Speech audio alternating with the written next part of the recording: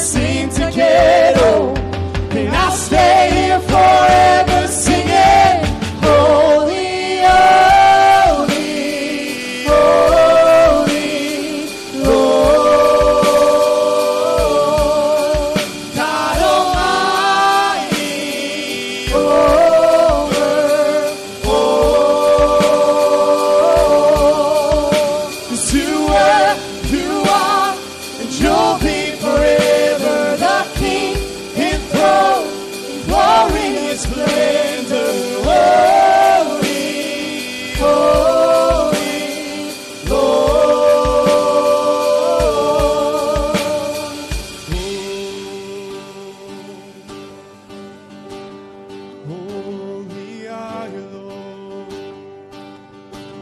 The veil is torn and the doors fling wide. I see glory as I run inside your throne room. Before you, I bow. Come on, sing it to him this morning. The veil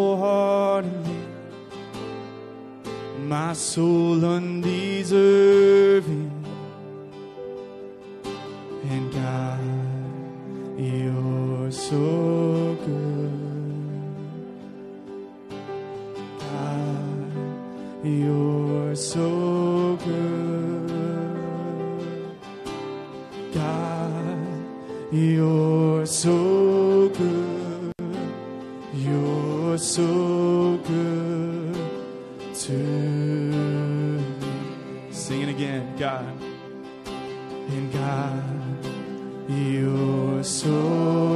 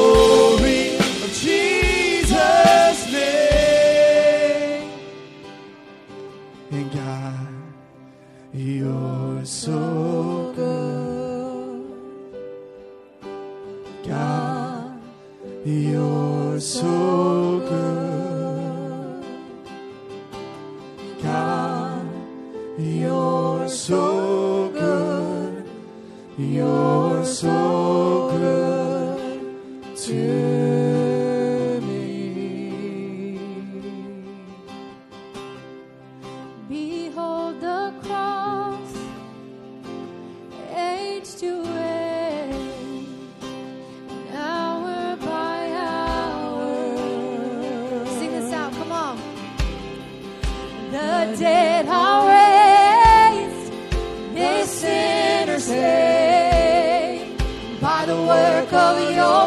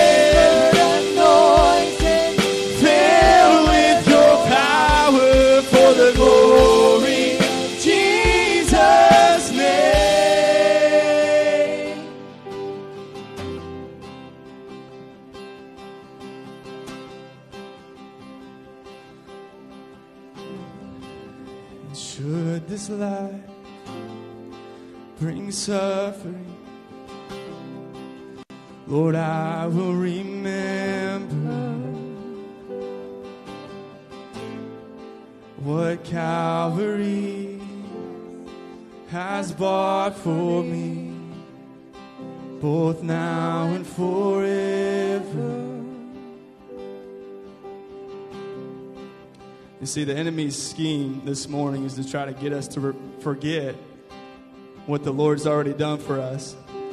And the Lord's speaking this morning. He's just saying, Remember what I've already done for you. The promises of, that I've already made for you are yes and amen.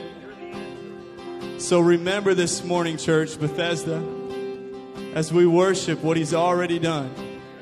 Let's sing this again. Remember.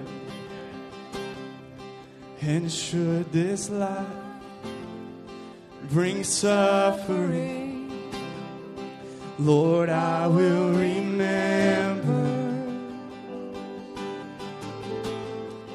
what Calvary has bought for me, both now and forever. And God, you're so good. God, you're so good to us. God, you're so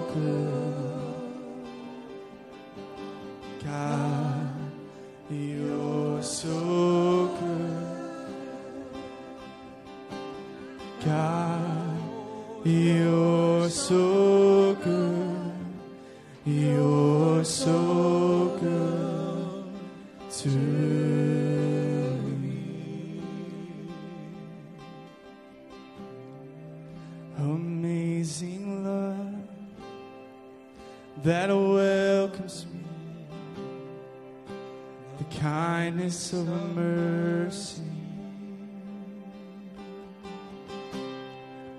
that bought with blood wholeheartedly my soul undeserving.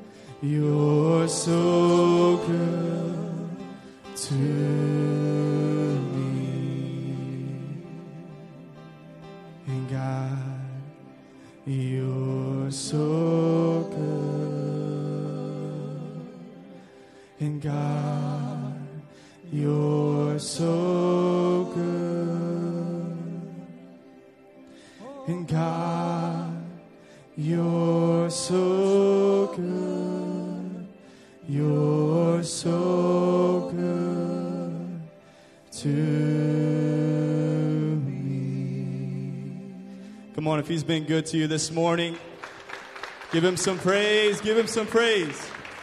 Come on, if he's been good to you this morning, give him praise. Come on, he's worthy of our praise this morning.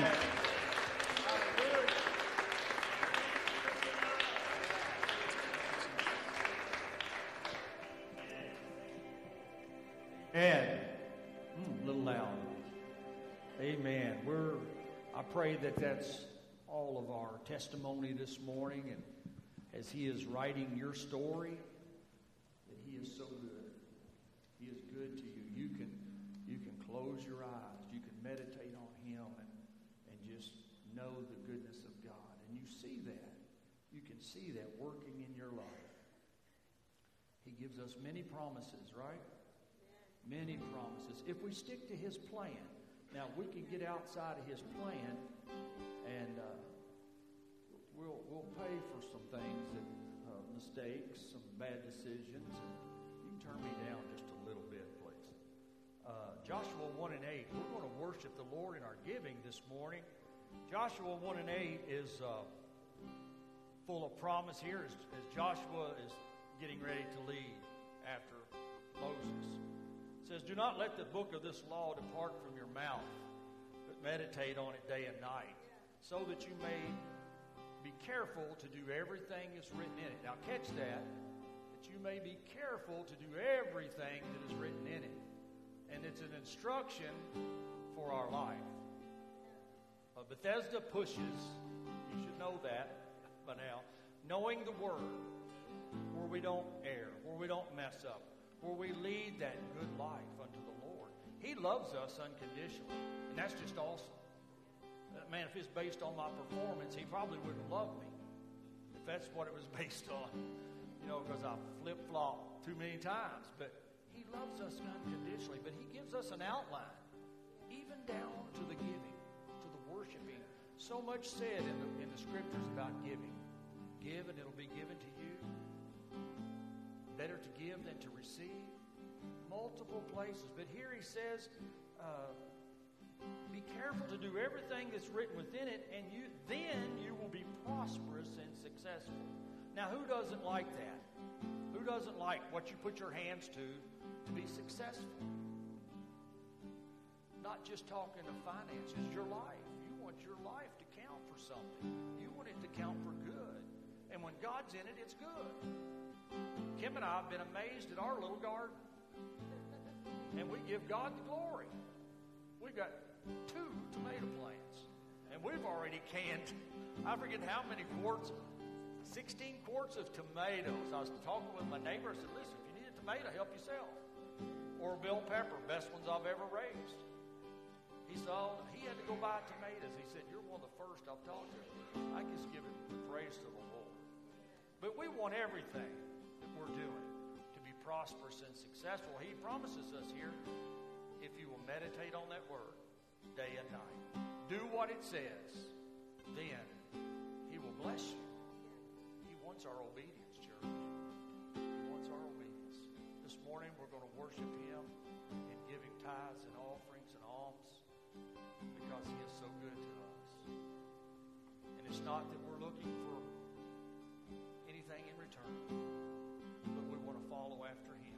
We want to follow what His Word tells us to do. You want your home peaceful, successful. Trust the Lord. Trust the Lord. He is truth. Father, we love you this morning.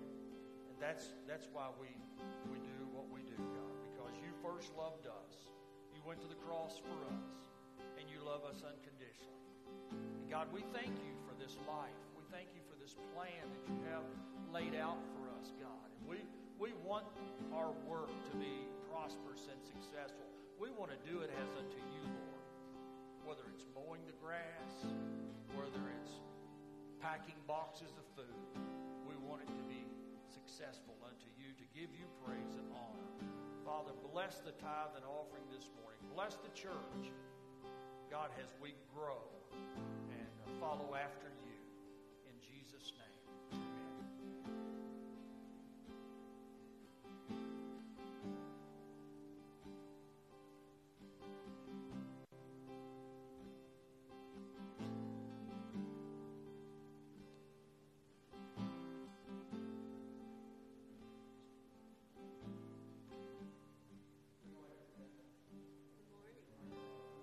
family and friends on on the internet there.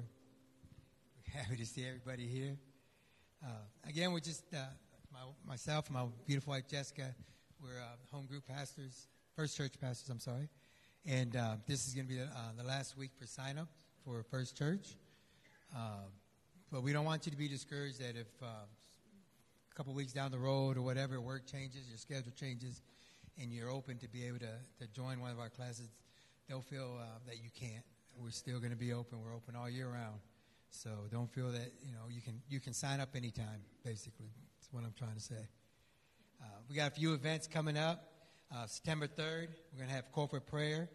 Um, I don't know how to say it, but it's how important it is and how much of a blessing we get just being here as as a, as a family and uh, praying together and just uh, being together and uh, and, and sharing one another's uh, burdens and excitements. September 4th um, is our new First Church meetings begin. Amen. Amen.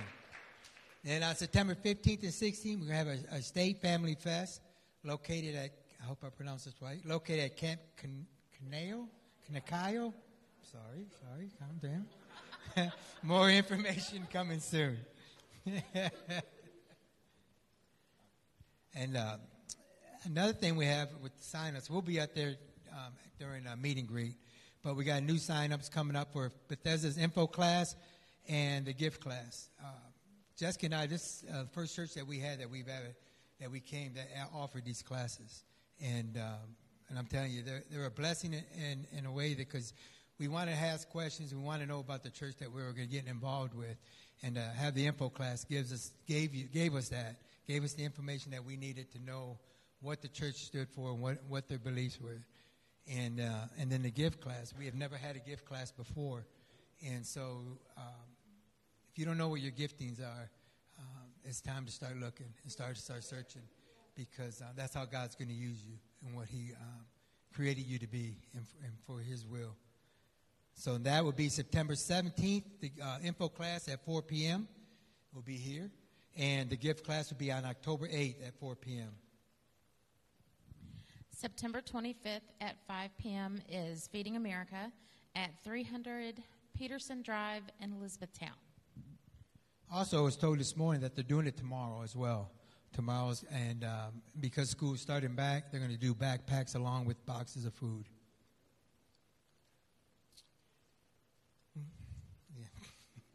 And September 29th, the men's camp out. I'm definitely going to get in touch with Pastor Fred because I don't, I don't know what that's going to entail.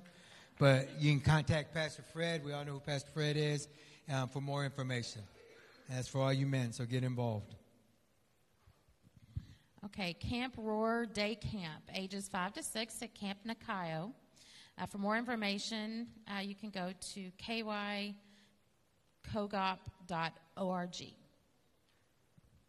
All right.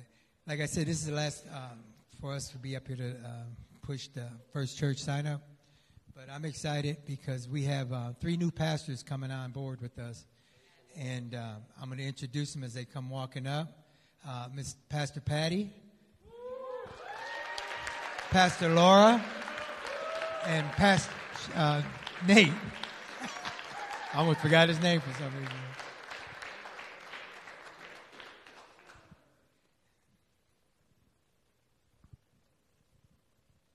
Good morning.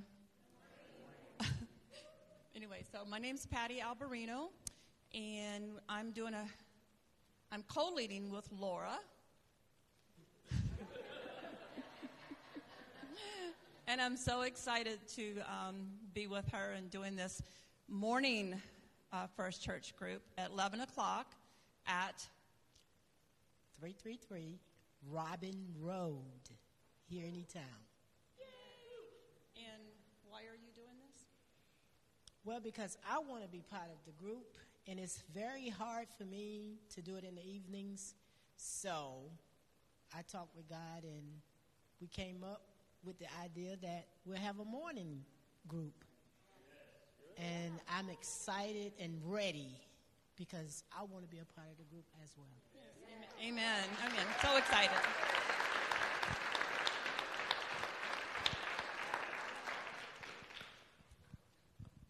Good morning, everyone.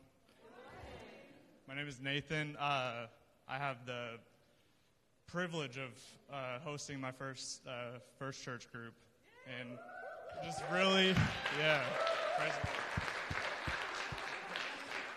just very excited uh, for the opportunity.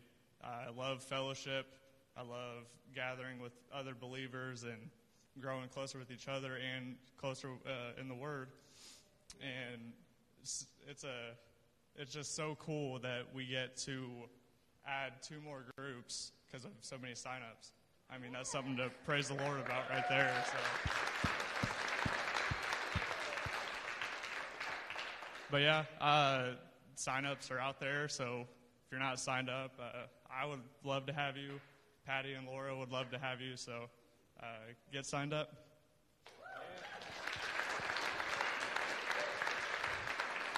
We're excited to see what God does in those in those meetings. Uh, we thank them and, and thank the Lord to move in their hearts to be part of it. Like you said, I mean, we, we want to get to a point where everybody's involved until we're just overfilled in all of our in our meetings. Um, at this time, we're going to take our time where we do uh, what we normally do at this time, and that's meet and greet. So whatever you do, fist bump, clap, hug, whatever, uh,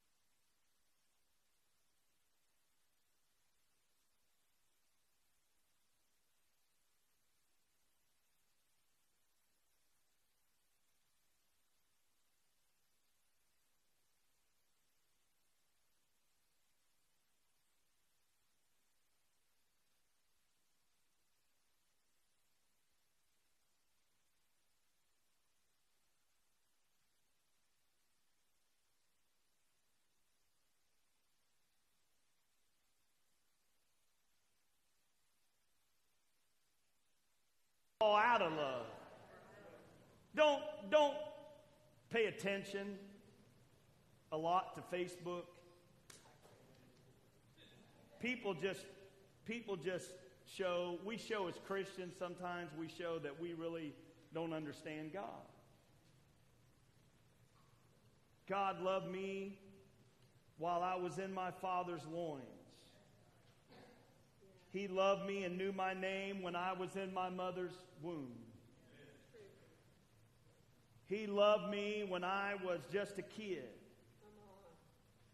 Had no direction and no hope. God loved me when I was 11 years old, all the way through until I was 18, and gave my heart to the Lord and lived like a, a little demon on the earth. And I mean literally. But you know what? In the midst of all that, God loved me. Matter of fact, I want you to know something. Listen, God loved me just as much then as He does now. Don't let nobody tell you no different. You know why? God's love is perfect.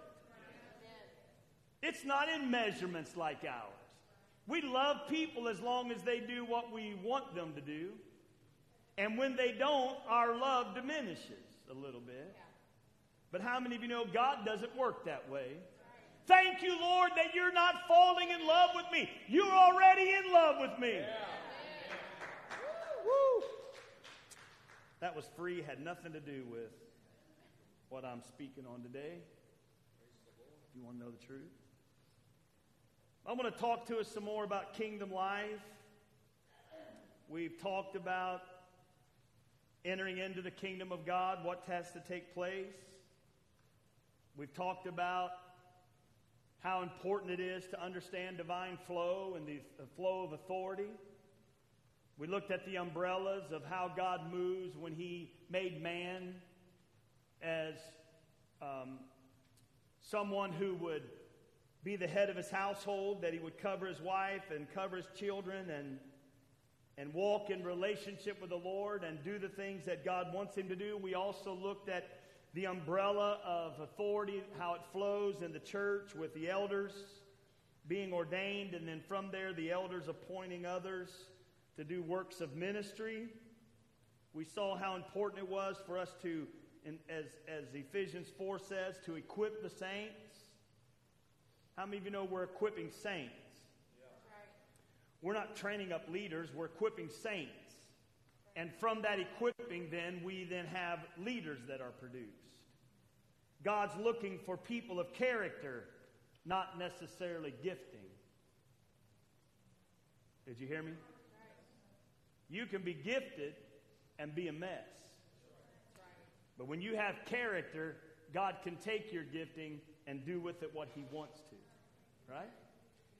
And we looked at all that and we talked about all that. We talked about how important it is to make sure that we are in alignment with the proper flow of authority, that we don't get outside of our lane, that we stay in our lane, do what we're called to do, and be what we're called to be, and make sure that we are submitting ourselves to that that God has ordained. Amen? Amen? That we walk in that, live in that. Why? Because those that God's ordained, they are watchmen. They are watching out for your soul. They're watching out to help you to become everything that God wants you to be. And so, like any good parents, they give to you the milk first milk before meat. We don't try to give somebody a T-bone steak when they should be having some pablum. Amen? I know every Christian wants to jump from being born again and an infant to knowing all about the end times. But there's a lot in between that that we need to know before we understand any of that. And so there's a flow of authority. Well, what are we then? We are what? Citizens of the kingdom. Aren't you glad you're a citizen of the kingdom? Yes.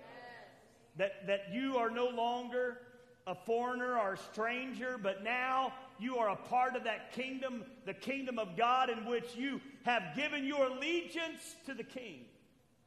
And we know that we have a King of Kings and a Lord of Lords, don't we? His name is Jesus. And we are His ambassadors. In other words, we're not representing ourselves, we are representing Him and His kingdom.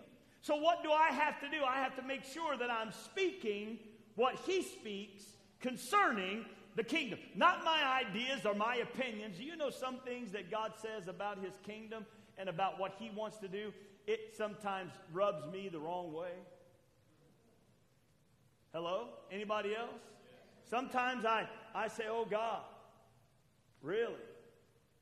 And God says, Yeah, really. And then what do I do? What? What do I do? Obey. Today I want to talk to us about the choice of obedience. The choice of obedience. And it is a choice. It is a choice. It's a choice that we make. The Bible tells us that our life is full of a bunch of choices. Deuteronomy um, chapter 30, 11 through 20 says this For this commandment which I command you today is not too mysterious for you. This is Moses talking to the children of Israel. Nor is it far um, off.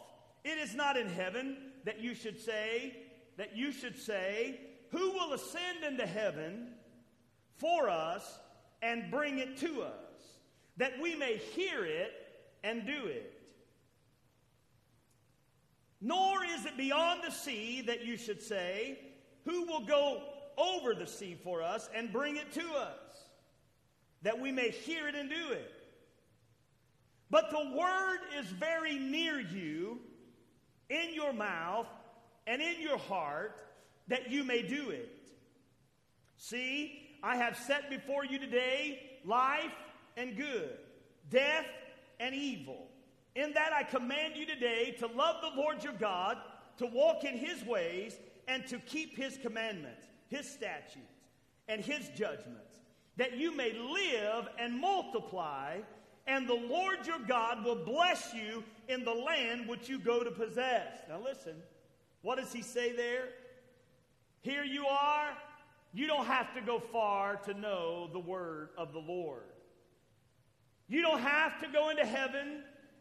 You don't have to have somebody bring it to you.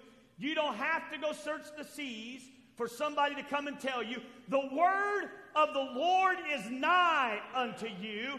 It is in your mouth and in your heart that you can do the things that God wants you to do. And you have no excuse.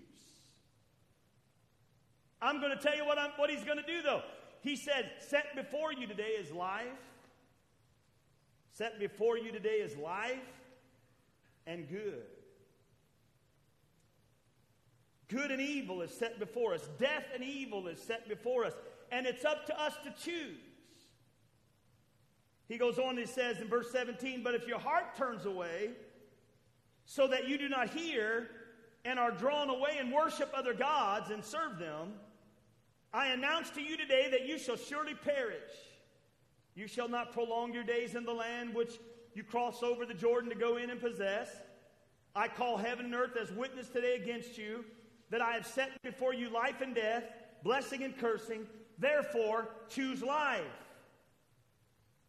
that both you and your descendants may live, that you may love the Lord your God, that you may obey his voice, and that you may cling to him, for he is for he is your life and the length of your days, and that you may dwell in the land which the Lord swore to your fathers, to Abraham, Isaac, and Jacob, to give them this land. God speaks real clear to us that there is no excuse to us as God's people for not knowing God's Word. Moses spent the last 40 years teaching them what God had revealed. Most people in this church today, not everybody, but people that are in this church today, have been told what the word of the Lord says. We have been told that it's not necessary for us to go out and pray and ask God what His will is because we have His will right before us. We sometimes spend a lot of uh, fruitless prayer time praying for God's will, and if we would listen when we pray that, God would be saying, I've already shown you my will, now you just obey and do it. Because it really is about obedience. It is about willingness, an attitude of our heart towards God. It is about us being willing to obey. If ever they strayed from God's path, it would not be for the lack of knowledge. It would be a choice they made. Listen, when, when I go to the right or the left, how many of you know we're not supposed to go to the right or the left? Huh? How many of you know that we are not supposed to go to the right or the left? How many of you know we're not supposed to go to the right or the left? Some people say in the church today that we just blow off the fact that we go to the right or the left as though it's no big deal. Everybody goes to the right or the left. Now, we can say that to some extent that's true. Everybody does fall short. Doesn't the Bible say we have all fallen short of the glory of God? Does the Bible not say that when you sin, you have an advocate with the Father who is Jesus Christ our Lord, and that God's grace covers a multitude of sins? Doesn't he say that?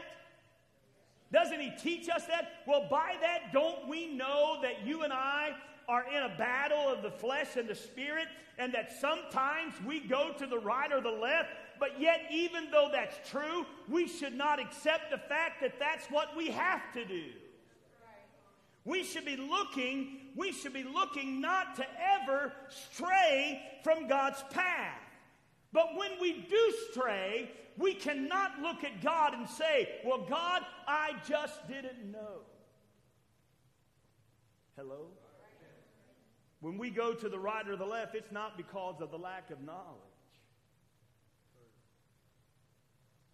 It's a choice that we make.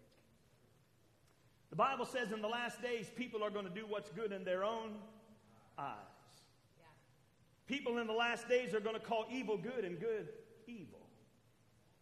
It's no shock to us, and we should not be surprised that we are living in those days today. We are walking in those times today. People today don't know right from wrong. People today cannot discern um, good from evil. Even people within the church. Even people within the church. Even people still in Bethesda. They can't discern right from wrong. But I want you to know it's not because we don't know, it's because we choose to do it knowing all the time that what we're doing is not right. Come on. But because of where we're at at that moment, we do it anyway. Hello? Paul said to us in Romans chapter 7, which has been covered here in the church many times, he, he tells us in Romans chapter 7, he says, When I go to do good, evil's present. The things that I would do, I find myself not doing. And the things that I want to do or, or wouldn't do, I find myself doing. And the things that I don't want to do, I don't I find myself doing those things. Why? Because there is a war going on. We're in a battle. The battle between flesh and spirit. What is that battle over? It's for our soul. Come on. God wants to lift up our soul. God wants to save our soul. I, I, want you to know something today. I'm saved. How many of you are saved? Raise your hand and wave it like this. Come on, if you know you're saved, wave your hand, wave your hand, wave your hand, so I know who to get in the altar before the service is over. Really, if you're three rows back, I can't see anyway, but anyhow. I'm saved, I'm saved, I'm saved, I'm saved. But listen, I'm also being saved. I am saved by the blood of the Lamb. He has washed me and forgiven me of, my, of me of my sins. He has cleansed me from the past, the present, and the future. And He is transforming my life every day that I allow Him to do it with the washing of the water by the Word.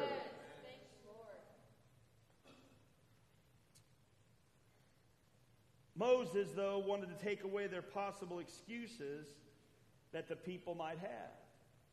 How many of you know we are a people of excuses?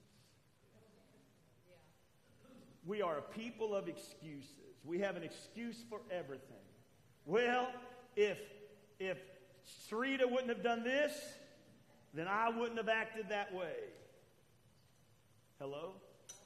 If Jerry wouldn't have done this, I wouldn't have done that. I wouldn't have acted that. If Jerry would just be a better husband, submitting himself to the word, I wouldn't be so trying to be in control.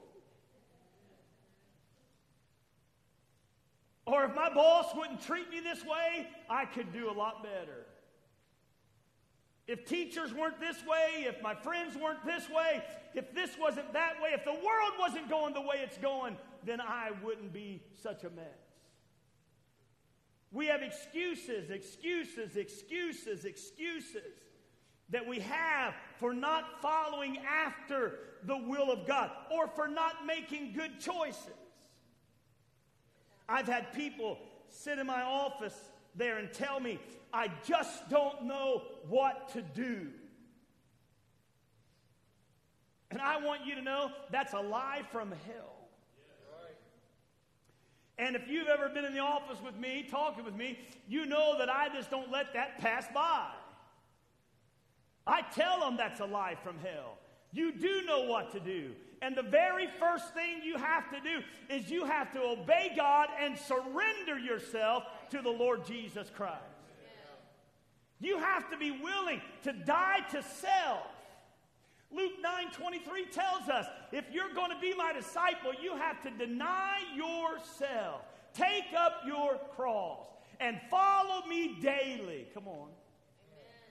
If you're fighting the enemy today, the scripture says, submit yourself therefore to God.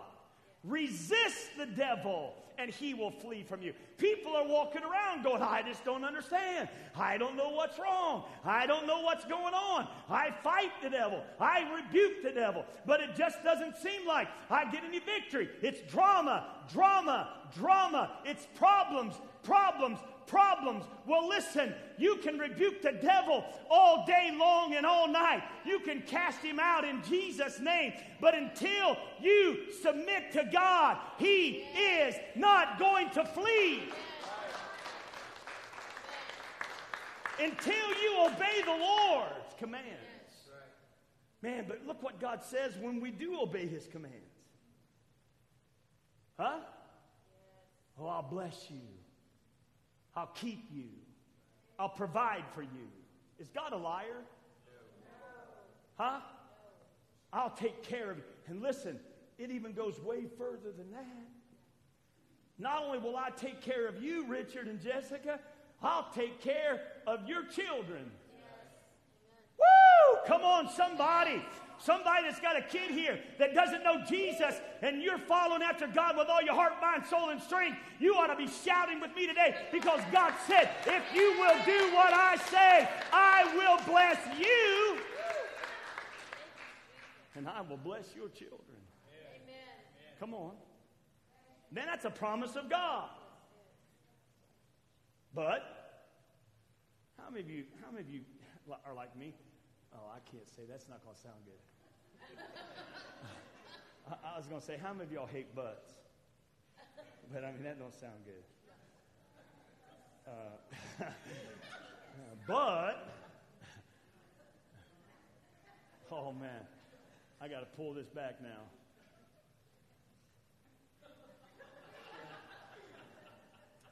You know, things like if, therefore, those things that are in the scripture sometimes it's like, oh man, God, I really liked what you said right here, but what are you talking about, God, that therefore? What's that therefore, therefore? Why did you have to go and ruin it, God? Why did you have to go and do that? And I, I mean, I was really loving this right here. There is therefore now no condemnation to those who are in Christ Jesus. Woo! Everybody stops right there and shouts. But he says the only way there's no condemnation, the only way that it's not going to happen to you is he goes on the next few verses if you walk in the Spirit. If you don't walk, if you don't walk in the Spirit, what are you walking in?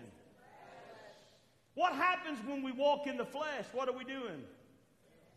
Huh? We're failing and we're sinning.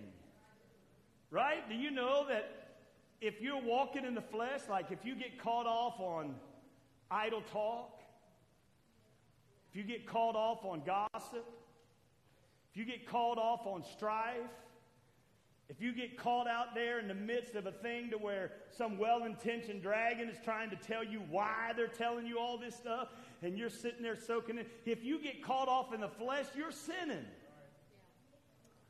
You don't need to partake in that. When we walk in the flesh, we have condemnation. How many of you feel bad when you know you're walking, when you realize, man, I'm walking in the flesh? Now, how many of you are thankful that you have the truth?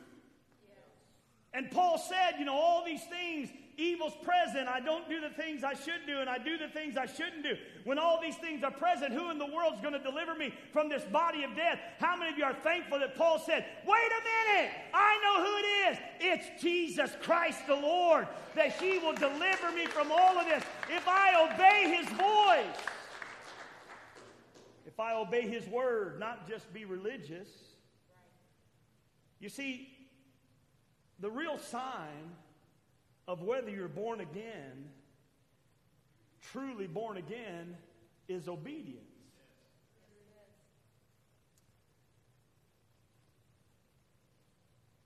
My sons are my sons, and how they prove it is in their obedience to their father.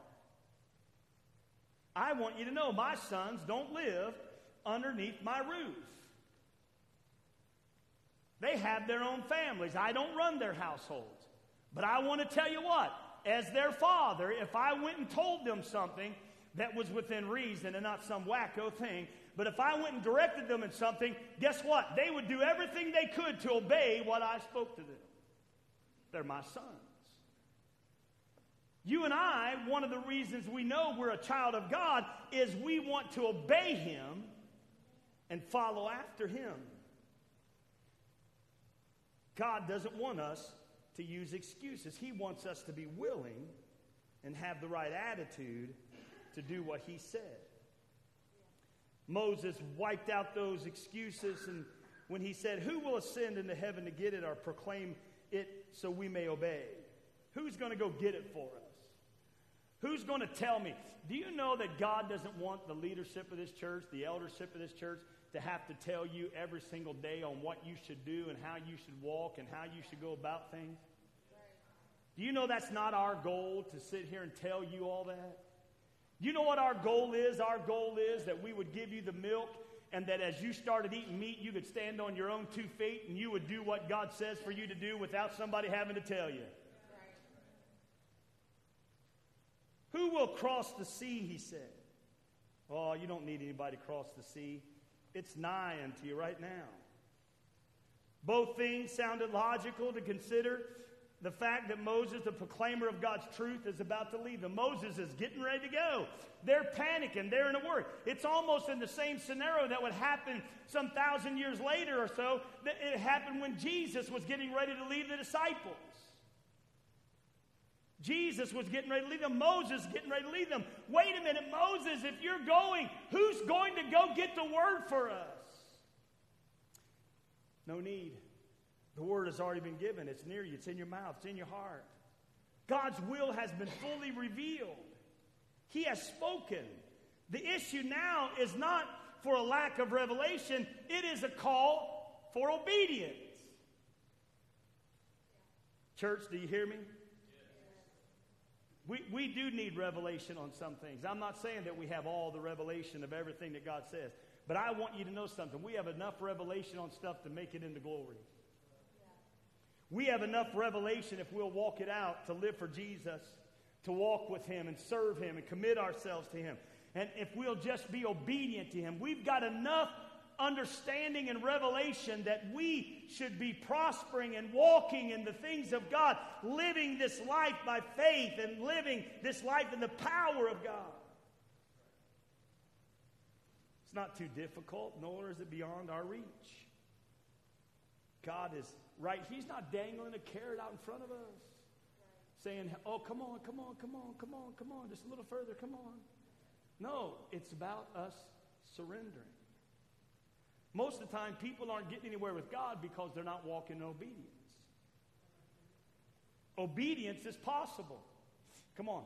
Obedience is possible. Obedience is possible. Here's the issue, but are we willing? It is, it is the biggest question that there is.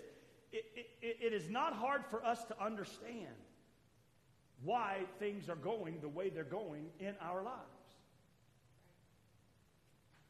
Pastor Doug Spainhauer and I, we talk quite often. And I remember one time I was saying something to him, and I was saying, Pastor Doug, you know what?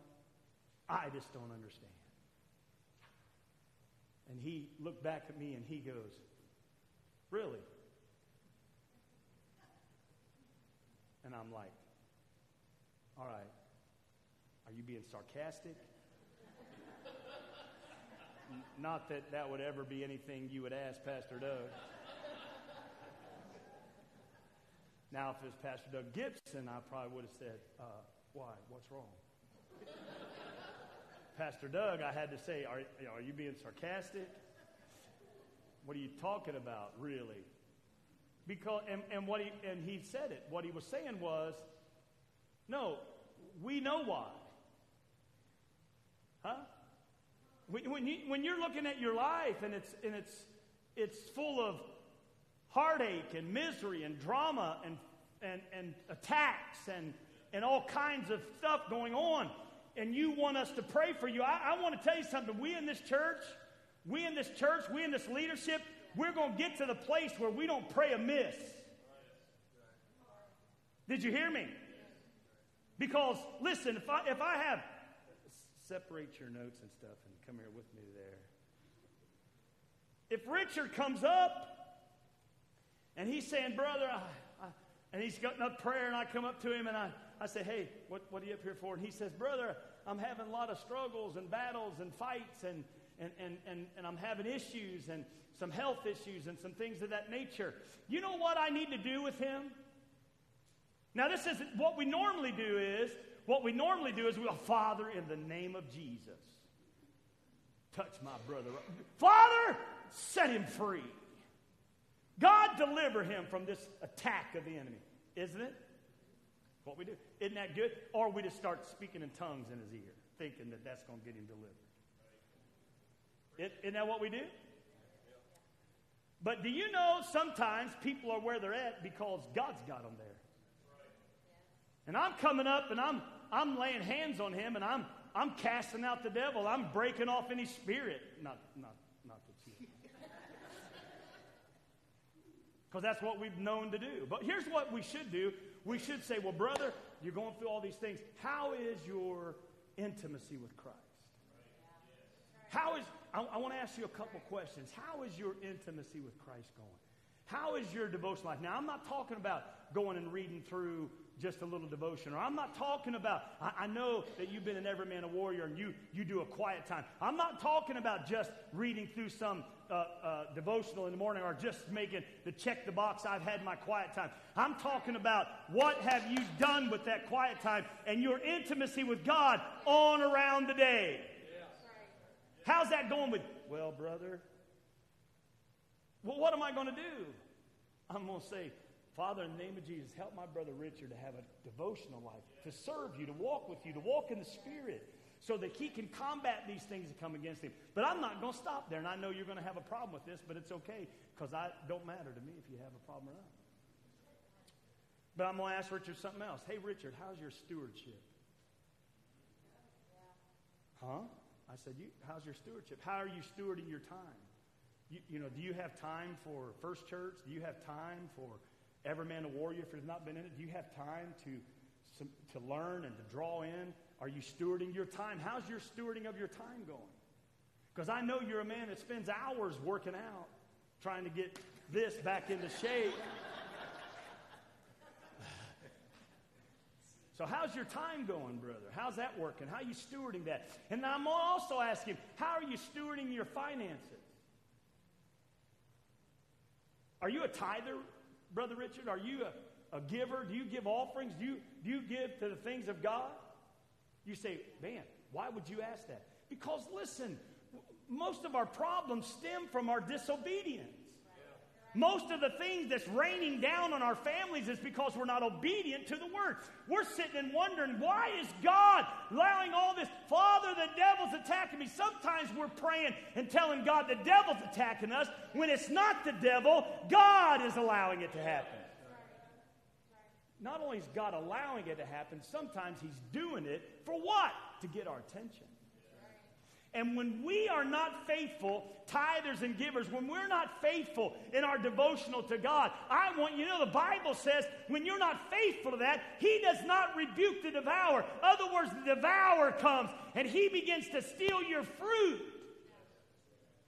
He begins to devour you and to consume you. You want to know why we believe today in being faithful in tithes, offerings, and alms? Because if you don't do it, you're robbing God.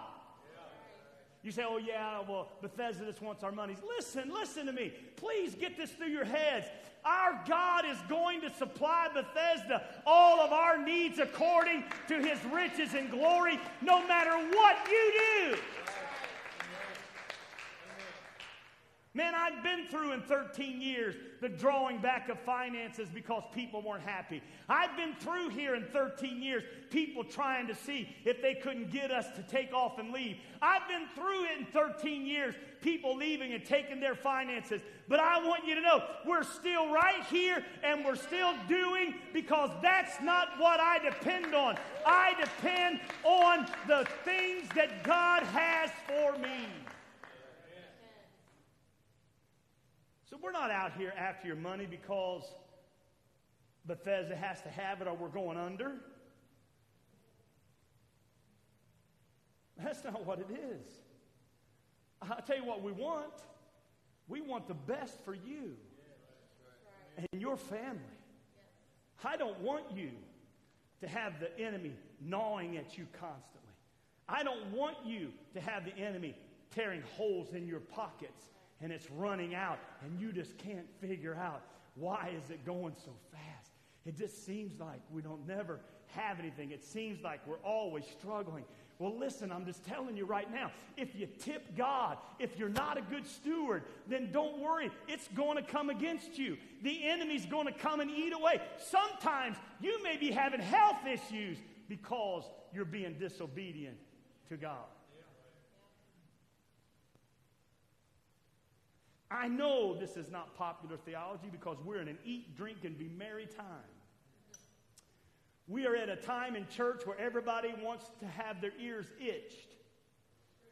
But I'm just going to tell you when you come here, you're not going to get tickling of your ears. I'm obligated, the elders of this church are obligated to tell you the truth in love the best that we can to let you know God's for you, not against you. But if we do not obey the Lord, we have to deal with the consequences.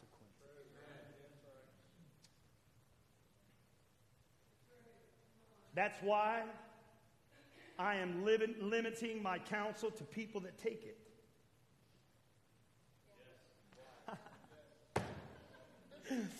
oh, you mean to tell me you won't meet with me? Oh, yes, I will. And then I'm going to tell you what the Word says. And if you come back to me next week in the same shape, I'm going to tell you, see you later. Come back to me when you start doing what I told you last week. Hello. You're coming to me, you're coming to the elders to solve your issues and help you find a way out when you don't do what you should do. We can't help you. Come on. You want, tell, you want the truth, right? We can't help you. Because, listen, it's not about what God wants me to do. Am I willing to do it? It's clear what God says in His Word. Do it. What did Moses tell him? Do it. Choose right. I'll bless you. I'll take you into the land. I'll bless you. But I'm not going to just bless you. I'm going to bless your children and your children's children. I'm going to pour out on you till you can't even contain it. How many of you want that kind of blessing today? Everybody that wants that kind of blessing, just real fast, jump up and wave your hand to the Lord. I want that blessing that I cannot contain. Stand up, wave it, wave it, wave it, wave it. That's what I want, God. Okay, sit down. Then what you just now said to God, I'm willing to do, God, what you said for me to have that. Amen? Amen. God said, You robbed me. Where did we rob you at, God? Tithes and offerings? Try me. Can you just imagine that? Who do we think we are trying God? But God said, Okay, try me.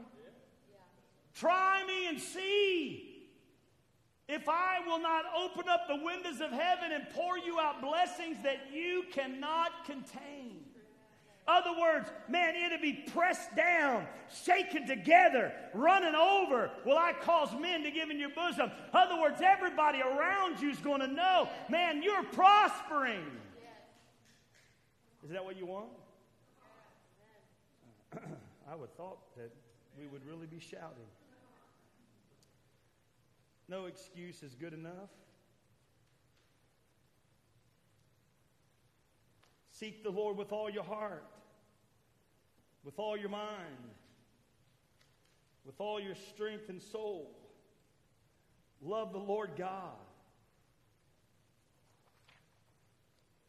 Love the Lord God. That's what he's after. He is right. It's about willingness about an attitude of our hearts. If we are honest, the main problem for Israel and for us today when it comes to obedience to God is not ignorance, it is defiance. It's defiance. I'm just not doing that. And then we want to lay it off on the church, our leadership, expecting too much of us. Listen, I want to tell you something. This is not my expectations. If you think this is my expectations, please come this week and meet with me and let's talk about the scriptures. These are not the elders' expectations of the church, these are God's. This is what the word of the Lord says. Huh? People say, well, you guys got too many rules. Too many what? Do you know the Bible's full of rules, laws? Huh? Do you know what he says about those laws? Those laws can't save you. That means you can't just check the box, as we've heard preached here before, and think that because you checked all the boxes, it's all good because it comes back to also not just that you got the box checked, but the attitude in which you're checking that box. Why are you checking the box? Out of duty, out of religiosity? Then you're failing God. You're falling short. You don't you have the letter of the law, but you don't understand the spirit of it. Do you know everything that we're talking to you about is not with a hammer? I know I get boisterous and loud, but it's not about smacking you in the face. It's not about nailing you high. It's not about making you to, to feel like that, man, you're lower than low. It's not about that. It's about me coming to you with love to try to tell you, look, man, you can do it, brother. You can be what God wants you to be. All it takes is you stop defying God and be obedient. All it takes is us being good citizens of the kingdom. Because listen, it's not about the hammer. It's about the Spirit. And the Spirit says that we want you to walk in His will and His ways. It's about that. So, how do I cultivate this willingness? I really truly believe this. The reason why the willing, willingness is not there is because we don't have a relationship with the one who we need to be willing to. Did you hear me? Because listen, We cultivate our obedience through intimacy with God. Obedience flows from a relationship. Hello? I want to do what pleases Sarita because of our relationship. And when I don't do what I know pleases her and I do something else, it crushes me because of our relationship. I can't just walk around as though everything's okay. I have to come to her and tell her, I'm sorry, I apologize, forgive me. Why? Because it's built out of a relationship. The love is there not because I, it's a duty for me to love, it's there because of our relationship. I want you to know something. I didn't, I told Sarita, I, I asked Sarita to marry me. Now hold on to your hat now. I asked Sarita to marry me about four days after um, I went out with her once. Oh, yeah, I, I'm not slow at acting. I, I move quick.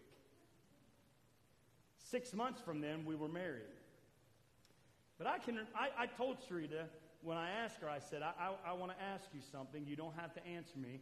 I want to ask you to marry me. I love you. I want to spend the rest of my life with you. Do you know what I realized? I, I, I, I didn't realize this at first because I didn't do right. I was ignorant. Nobody coached me, nobody helped me, but I went to her father to ask if it was okay not to date her, we had already started seeing each other, but to marry her. And he told me that, you know, you don't love each other, you're just infatuated. And so, you know, the answer is no. And I said to him, like, like, like stupid person, I said to him, because um, uh, he said, You guys aren't thinking. And I said to him, Oh, no, we're thinking.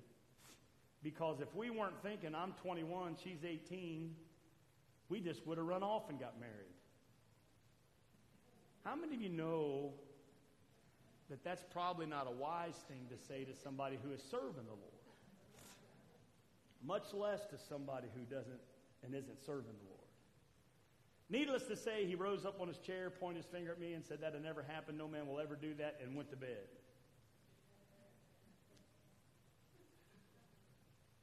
And I'm thinking, no, okay, well, we're going to get married. We're going to get married.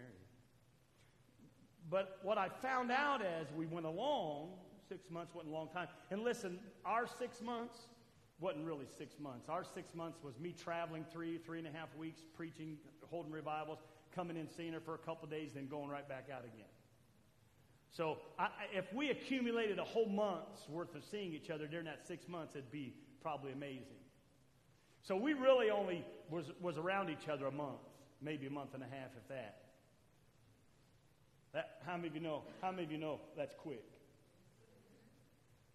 But it was the Lord. She's made it this far. Hopefully, she can make it further. I feel like I got a few more good years left. Hold on, honey. We can still do it. Make it to the end. But something I realize is this her dad was right. I really didn't love her. Huh? According to what I understood as love, I did. But you know when love came? Love came as we said, I do. Love came as we walked it out. Love developed more as a choice. I chose to love her. She chose to love me because in that walking it out, there was plenty of days when I wasn't lovable. She chose to love me. When, when I was insensitive, when she was crying in the bed next to me, and, and, and I'm not sensitive, I'm, I'm thinking and taking it all, because you know it's all about you, all about me. And I'm asking her, What did I do? What's wrong? Why are you crying? She was trying to tell me, you know, wasn't about me. But oh yeah, come on, sure, I know I done something. What was? She was homesick. But in the midst of all that, she loved me anyway. She loved my nosy grandmother when my grandmother would not knock and just barge into the room where we were staying. Love, though, was developed from a relationship. Obedience to one another, walking into submission to one another, it's developed through relationship, through building a trust. Jeremiah 29 13 says, And you will seek me and find me when you search for me with all your heart. We obey him because we know he has his best thoughts for us. In Revelation chapter 3, Jesus was addressing the church at Laodicea. Revelation 3 17, 18 says, You say, I am rich, I have acquired wealth, I do not need a thing, but you do not realize that you are wretched, pitiful, poor, blind, and naked. Counsel you, I counsel you to buy of me gold refined in fire, so that you can become rich, and white clothes to wear, so you can cover your shameful nakedness, and salve to put on your eyes, so you can see. Here's, what, here's where we're at. This is what we're going to finish with. This is where we're at, church. We have become so self sufficient that we, for, we have forgotten who it is that we need to be depending on. These people that Revelations is talking about here, they felt no need for God. There was no communion. What did he say to them? Wait a minute, I've got something against you. You've left your first love. The communion with God was not there. They were missing out on God's best. They weren't ignorant of it, they just chose not to. They chose not to. What is, what is going to be your choice? Today, he says, I set before you life and death. Serving God, being a part of His kingdom, is about obedience and faithfulness and commitment and covenant and walking in the things that God speaks to us. And listen, if we're ignorant, it's our own fault. We've had enough stuff around here that, that people in this church should feel like they are the most equipped to do whatever they need to do.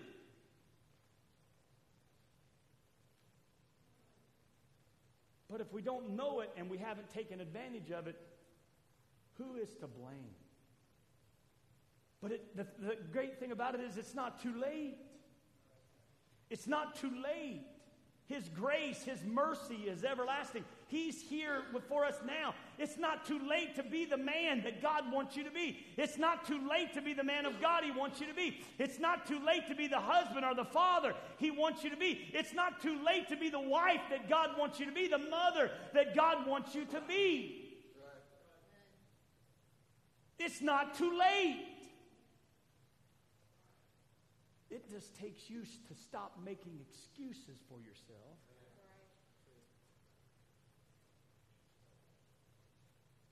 Oh, Pastor Jerry, that's you're just you're, you know, you're that's just mean.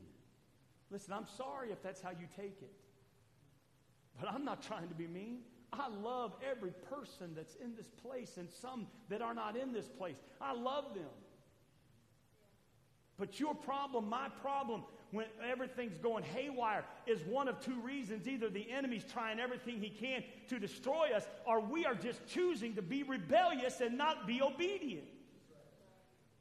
What you have to determine is which one of those are you? Where do you find yourself today? What is your choice? Is it life? Or is it death? I want you to live. I want you to live. I want you to be what God wants you to be, what He's calling you to be. I want you to live, not die. Stand with me this morning.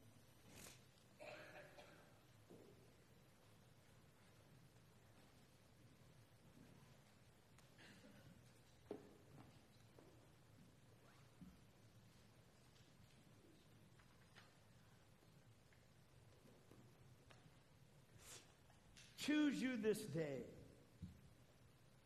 Listen, he says this in Scripture. Choose you this day whom you will serve.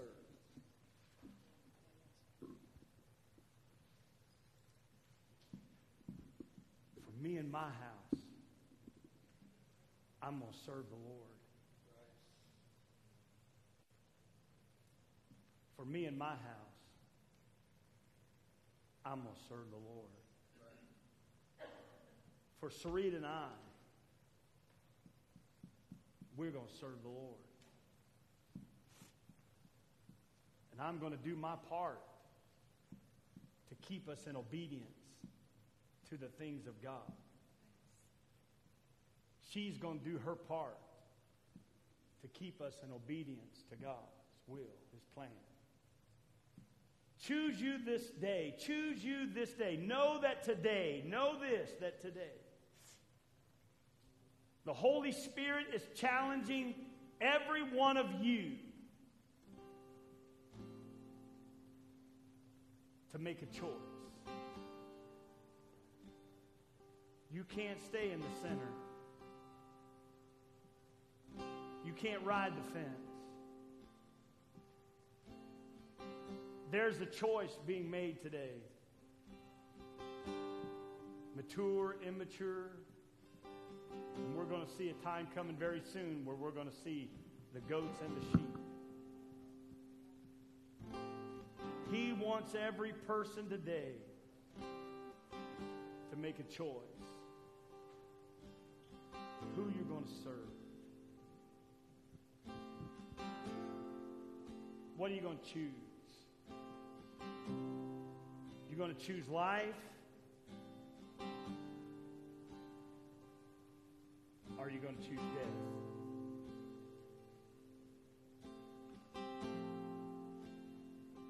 God's not withholding from us because He wants to.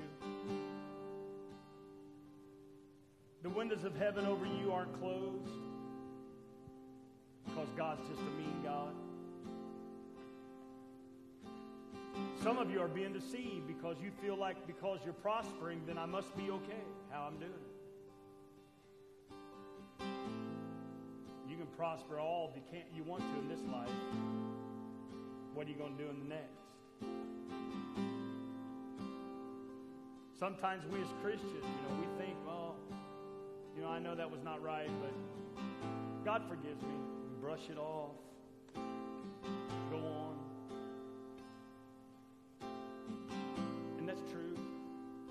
His grace is sufficient.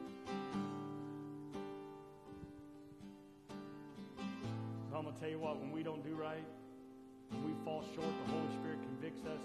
We need to fall on our faces before the Lord and cry out repent. And repentance means turning away from and turning to. Turning away from what you were doing and turn to God, no matter the pain, no matter the hardship or suffering that you have to go through to turn away. You do it. Choose you this day whom you will serve. Is it going to be life? Is it going to be death? How many of you in this place this morning, you're willing to put the enemy underneath your feet where he belongs, and you're willing to declare, you're willing to declare with your action, I am going to choose life. I am going to choose the Lord. I am by faith surrendering it to Jesus, who is the author and the finisher of my faith. How many of you will step out from where you're at, make your way to the river, make your way to the river, make your way to the river, and say, For me and my house, we're going to serve the Lord. We choose life. Just come up all the way to the front so everybody can get up.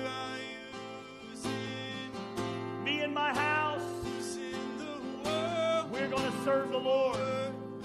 Make your choice.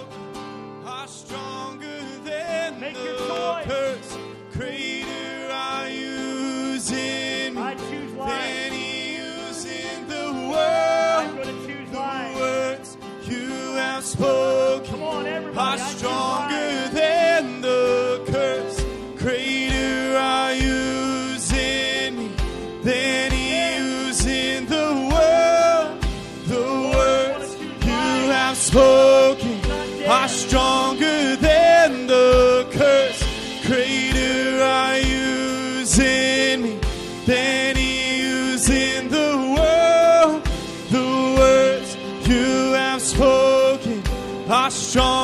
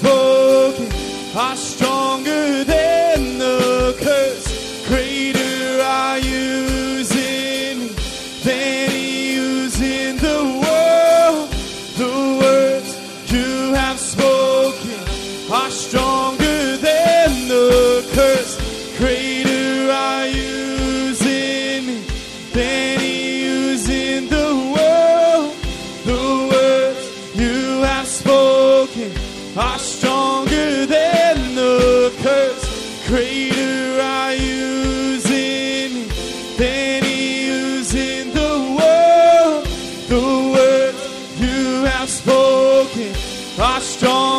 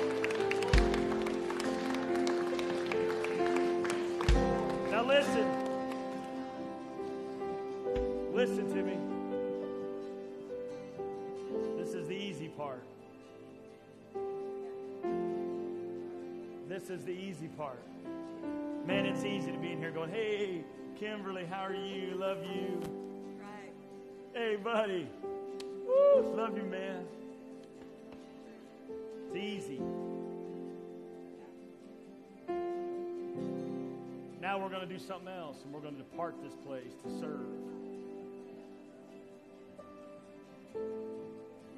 Every day of our lives, You want to know why it's not just enough to get up out of bed, feel good about yourself because you had a devotional? Huh?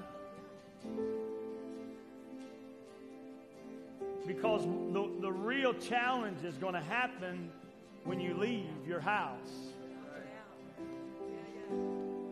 You better keep that word nigh unto your heart and in your mouth, taking the sword of the Spirit and fighting the enemy all day long, walking in the Spirit, practicing His presence and His glory. It doesn't matter if you're in a crowd, you can still be praying in the Spirit. You can still be meditating on the Lord. You can still be beholding His beauty all day long. Choosing life. Choosing life. Somebody comes up to you and says, Hey, man, I, I, I, I want you to pray about this. I just got to tell you about so and so. You just need to tell them, No, thank you. I'm choosing life. I'll pray for a situation, but I don't need to know all the gritty details. I'll just give it to the Lord. I'm going to choose life. The enemy's scheme is against you. Choose life. This day. Hug somebody before you sit down. Let them know. God bless you. Have a great day.